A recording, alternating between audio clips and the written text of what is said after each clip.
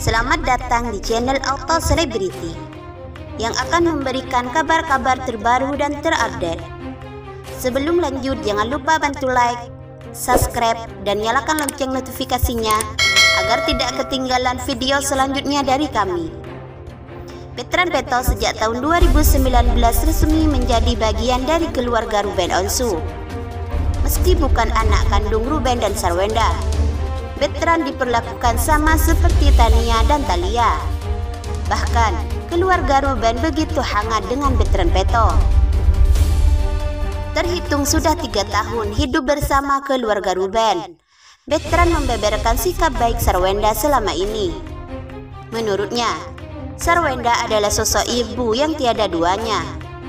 Sebagai seorang istri dan ibu, Sarwenda selalu bertanggung jawab dalam mengurus keluarga. Dilansir dari kanal YouTube pribadinya, Betran mengaku Sarwenda tetap bangun pagi meski memiliki banyak asisten rumah tangga. Mantan personil Cherry Bell itu rupanya juga menangani langsung masakan untuk keluarganya tak pernah malas-malasan. Menurut penuturan veteran, Sarwenda selalu bangun pagi setiap hari. Hal pertama yang dilakukan Sarwenda setelah bangun adalah memasak untuk sarapan keluarga.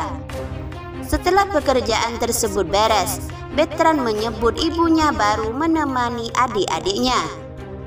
Jadi, bunda itu bangun jam 4 subuh, masak buat kita, Habis itu bunda baru nemanin dedek, tuturnya.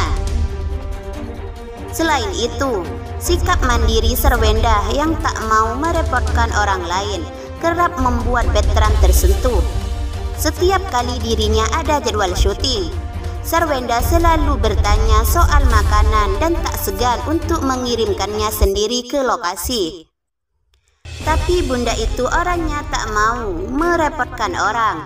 Onyo sayang, makanan sudah habis belum? Bunda kirim lagi. Bunda habis masak ini, imbuhnya.